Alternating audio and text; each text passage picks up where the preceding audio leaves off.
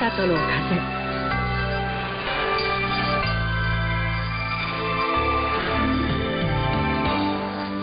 こんばんは。ふるさとの風の時間がやってきました。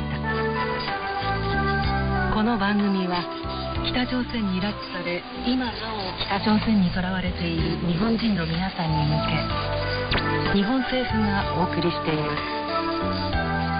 1970年代から80年代前半にかけて日本人が北朝鮮当局により拉致される事件が相次ぎました。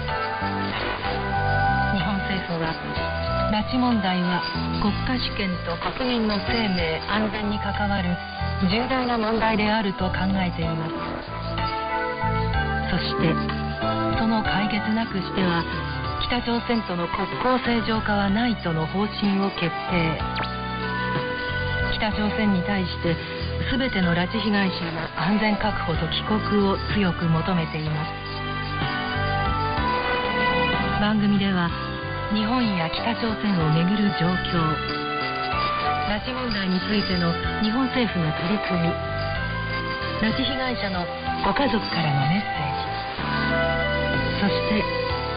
懐かしい日本の歌などを皆さんにお届けします。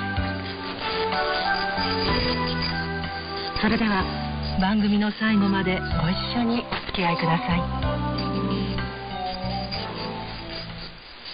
はじめに懐かしい日本の歌をお送りします。今日はケチカをお届けします。